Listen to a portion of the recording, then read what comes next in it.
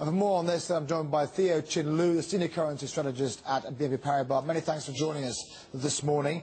Uh, first of all, if I can talk about the euro, uh, Nomura is saying after breaking 130, uh, it'll go towards 126, the next support level.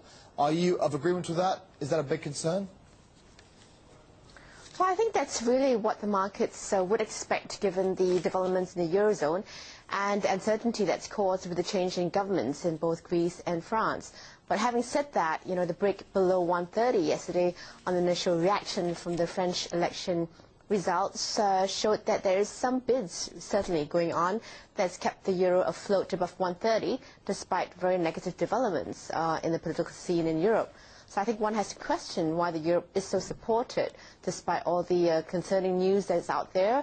I think one of the reasons has to be you know, some repatriation inflows back into the eurozone, either by European banks that need to um, divest and go back to core business and raising funds that's uh, really causing some bids in the euro to come in.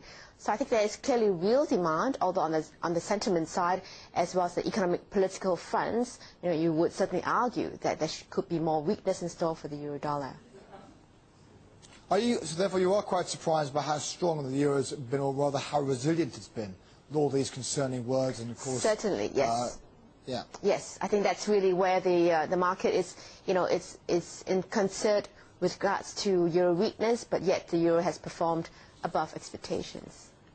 What's your target, uh, Thio, then, of course, going down? Is it 126 is Nomura's. What is your call at BNP? Mm -hmm. Well, I think in it, it's a market that's traded very technically. There really isn't very large positioning in the market as, as we see it, and there are not many uh, risk takers are willing to bet you know, the whole house on the markets right now. So as a result, it is a very technically driven market, very flow driven, and as such, I think I would watch key levels to see how that would pan out. So next, uh, the next support area for the euro dollar is 129.5. If that level breaks, clearly we could get one big figure down to 128.5, but certainly we need to watch the support levels to see if they hold up, and, uh, and then the flows will be driven accordingly.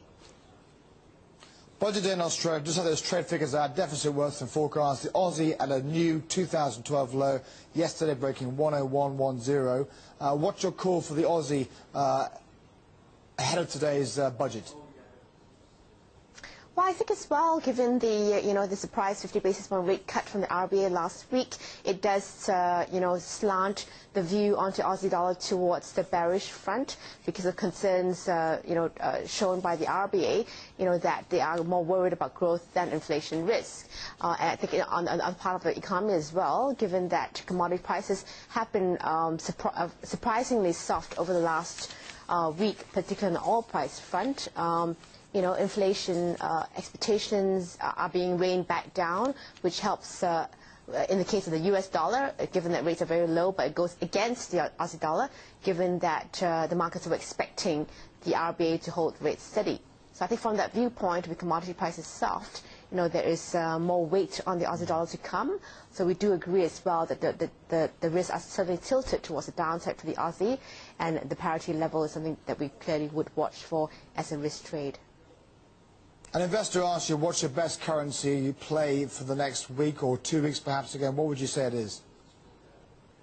Well, we still like to be short the euro, not so much against the dollar, because there clearly is safe haven bids coming back into U.S. Uh, bonds in particular. So we do like to short the euro against selected Asian currencies. So we like to short the euro against the Sing dollar, because in, inflation, in, in Singapore, inflation is still a concern given high housing and transport costs. And the MAS is quite happy to run with a tight monetary policy. So euro Sing shorts, I think, are still a fairly um, you know, good proposition.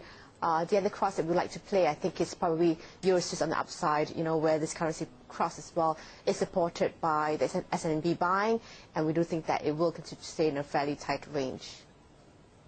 Thanks for joining us there. Thio Chin Loo there, joining us, the Senior Currency Analyst at BNP Paribas.